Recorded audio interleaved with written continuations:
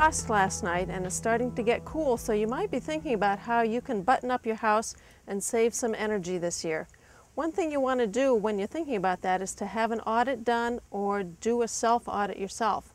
How can you tell which one you need? Well, if you're applying for rebates or uh, loans or things like that, you may need a professional audit done. And in that case, you'll need to call uh, and, and line up someone to come do that. While you're waiting for a professional audit, or if you choose not to have one and just do it yourself, you can do a self-audit.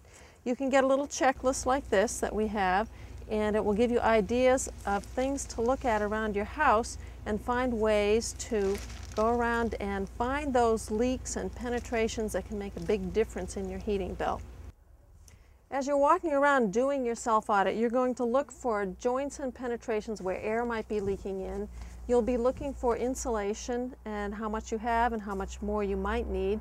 You'll also be looking for places where you might caulk. You'll be looking for the quality of your doors and windows, the types you have, whether they're well caulked around them or whether they're allowing air to leak in.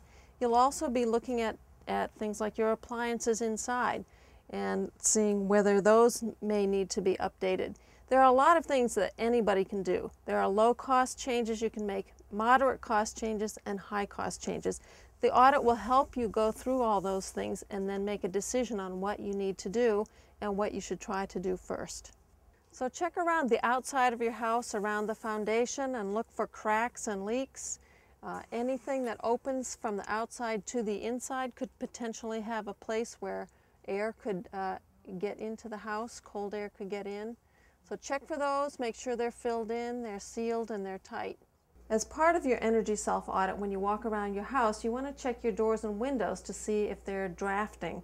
You can make your own uh, low-cost draft checker by taking a, a used uh, feather out of your down vest if you have one, or milkweed pods if you get the seeds from those, or you can get a pencil and use some double-sided tape and uh, attach some little toilet paper strips to it.